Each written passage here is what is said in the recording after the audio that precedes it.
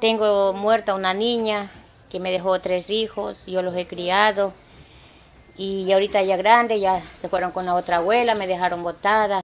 Hola amigos. Una familia pega un cartel suplicando ayuda y días después les hacen esto. Sufrir de pobreza en cualquier parte del mundo es algo que nadie quisiera pasar, y menos a la mitad de una situación como la actual, donde el dinero escasea y la posibilidad de enfermarse es latente. Toda la vida he vivido en la pobreza y debajo de la pobreza.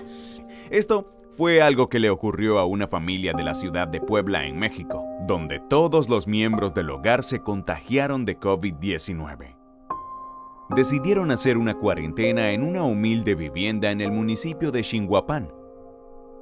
Al no tener cómo salir a trabajar, por lo tanto no poder tener dinero y no poder conseguir medicamentos o alimentos, se vieron en la necesidad de suplicar ayuda mediante un mensaje colocado en la ventana.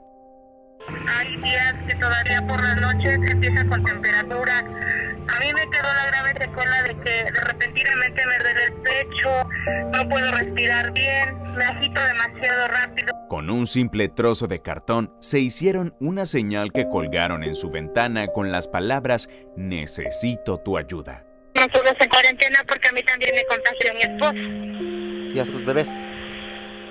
Ajá, ya no hay bebés buscando llamar la atención de algún vecino mientras pedían con toda la esperanza. Los dos padres y sus dos hijos resultaron positivos al virus. No solo tenían que soportar los síntomas de la enfermedad, sino tener que vivir aislados y estar rodeados de la miseria que los ha acompañado durante años. Los vecinos al percatarse del letrero comenzaron la búsqueda de la mejor forma de ayudar a la familia, pues ellos conocían la situación de pobreza en la que viven y no podían quedarse indiferentes.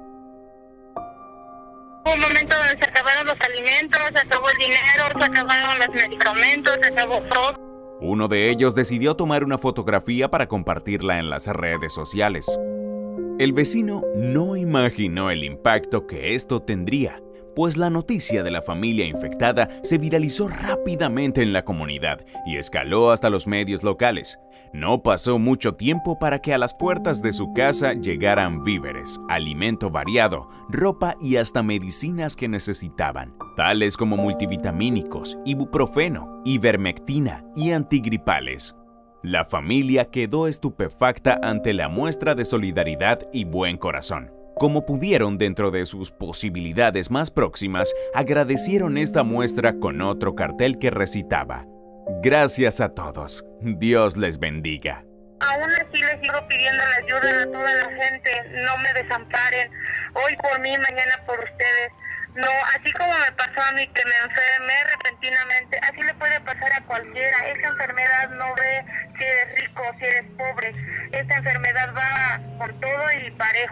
Estar conectados con nuestra comunidad es vital para continuar aguantando esta situación mientras dura. Comparte esta historia con tus seres queridos para inspirarlos a apoyar a quienes más lo necesiten. Hasta un próximo video amigos.